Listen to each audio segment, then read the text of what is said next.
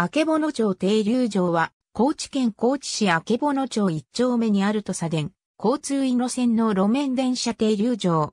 当停留場は1907年、イノ線が鏡川橋停留場から校内停留場まで延伸開通したのに合わせて開業した。あけぼの町停留場は、イノ線の併用軌道区間にあり、道路上に乗り場が設けられている。ただ首都停留場を含むイノ線のカモ部、朝倉駅前間は、幅の狭い道路上に軌道が敷かれているため、安全地帯となるホームを設置することができず、乗り場は道路上を白線で区切って示されるのみである。乗り場は2面あり、東西方向に伸びる単線の軌道を挟み込むように配される。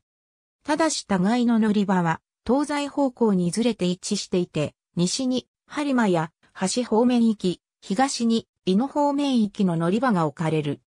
福音強小な旧街道上に軌道が敷かれている、鴨部、朝倉駅前間にあって、東停留場付近はやや道幅が広い。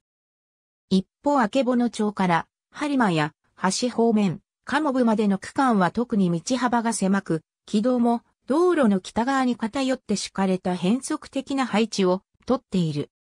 AB、土佐電鉄が走る町根弱99.156から158ページ今尾圭介、日本鉄道旅行地図帳11中国四国、新潮社、2009年、60ページ。ISBN 978から4から10から79万29から6。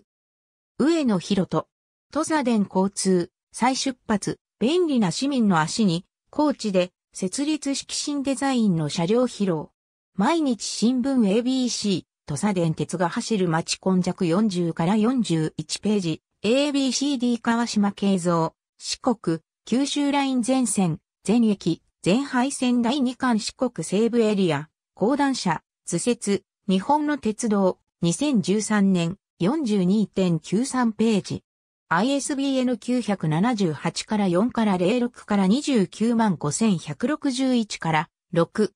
川島慶三、全国鉄道事情大研究四国編、創始者、2007年、291ページ。ISBN 978から4から794216151。